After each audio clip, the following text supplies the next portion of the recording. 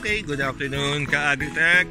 We are here now sa Kalinan uh, in Davao City sa Kalinan. And uh, we are in Monte Maria Agro Industrial Farms wherein meron po silang uh, chickens no? We are here today to share with you the results of uh, yung ginawa nilang application ng activator para dito. To control the smell the odor and also yung flies. They have 10 houses for layering chickens. So you're having a total of about 7,000 plus 7,200, 7,400 heads uh, kada isang bahay na ganito. No? And they have 10 of this. So we started, ito nasa likod ko, we started with this one first, ito muna. And nag-apply po sila dito ng activator para dun sa ilalim, dun sa mga droppings ng mga manok no? And nung una po nag-apply sila and they already saw right away yung effect no uh, nung ating activator para dito. But to go a step further, hindi lang po yung actual smell, no? Pero syempre because yung sa mga ganito kalaking mga farm, eh they have to have actual proof. No? So, we took some samples also. And ngayon, nandito po tayo. Kasama po natin sila Sir June, no? sila Sir Alan, sila Sir Jetro sa likod no? from CHC Agritech kung sila po yung nag-conduct uh, ng actual demo po dito.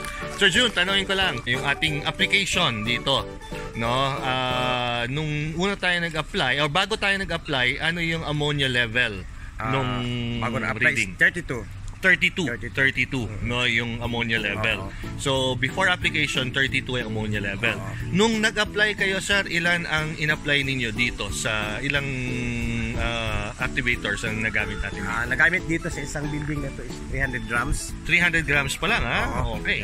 I-dissolve namin sa 60 liters na tubig. Okay, so 60 liters na tubig, 300 grams sa standard dilution. Oo. And nung nag-apply kayo sir, right after, ano ang naging reading ng ating Ah, ammonia meter?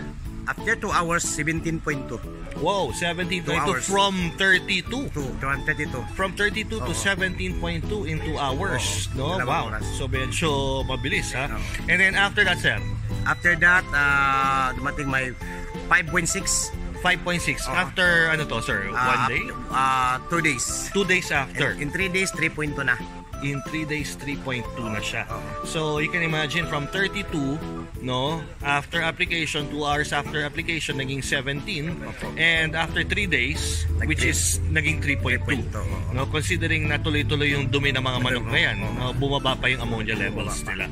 No, though that's a testament to yung power ng ating ah, CHC Agritech Activator dito po sa application sa chicken houses, no. So from Kalinan dito po sa Davao City, no, ah, Monte Maria Agro Farms, no. This is John de Guzman, sir. Kasama sila Sir June, June Enriquez. kasama sila Sir Alan, Alan. no, and si Sir Jetro of course, no, for CHC Agritech from Davao City, John de Guzman signing off.